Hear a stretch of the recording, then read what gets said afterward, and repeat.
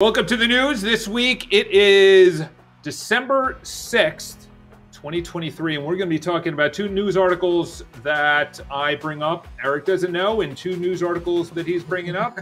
Perfect. Well, I'll start it off because Eric started it. Workers returning to Manhattan's offices 70% of pre pandemic levels. That is a lot. That's exactly what you want to hear. So, probably the highest than since the pandemic. By far. So, what was it on average before COVID?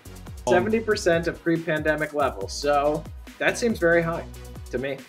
And uh, we've been seeing it anyways around the midtown and office space. You know, Well, there's office definitely a lot of tourists. rented. Yeah, Yeah. there's a lot of foot traffic. So, New York is busier than ever, even in the office. Yeah. Well, I could definitely see it on the trains. And before Thanksgiving, the trains were crazy crowded. You brought in a love news article talking about the MTA was at record levels. So you're bringing in this heat and fire to the news. Guess who is starting a beautiful fund to buy single family homes? Our favorite, Jeff Bezos. Wow. Yeah, he is funding a real estate startup on buying family homes to rent out. It sounds like we are going to be happy owning nothing and just renting our homes. This was on your favorite news publication, Vice. Um, he always talks about how he loves Vice. I also do love Vice. And they spun it positively. This was very interesting. They said the Jeff Bezos backed real estate investing startup is launching a new fund to make it even easier for everyday Americans to speculate on the rental homes. They are making it that it's great that you get to rent your home and you get to speculate what your what everyday Americans are spending on rent. The way they're actually doing it is that it's crowdfunding with as little as a hundred dollars. So you and I can essentially Wow. get paid to rent our own homes from Jeff Bezos, and other people are investing in this fund. It, That's and- pretty amazing. Yeah, you own shares in it, and a hundred dollars. It makes it a lot easier for us to own nothing. It'll be very interesting in Be Texas. pretty amazing if it did. That's uh, wild. Uh, brokers say NY bill revealing LLC owners to the public would chill international sales. There was a transparency bill back in 2021 which kind of started this, but now there is a bill that makes it so that LLCs need to disclose who the owner of the LLC is. That has until the end of this month, the year end, to either be signed or not. Uh, nobody knows which way the governor is leaning, but if the signature goes down, that law will be enacted. So we will see. Yeah, I don't think that's going Yeah, There's I don't know either about that. too many wealthy people that are going to say no.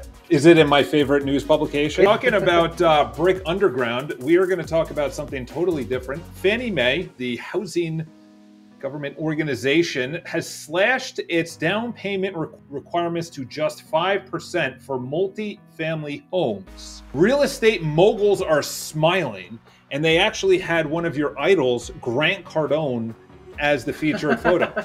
It's actually very interesting. They had something very similar in 2009 when the Fed had a good time. In 2009, they offered $8,000 closing credit to first time homebuyers, and they had to actually pay that back. Nobody saw that, that little writing.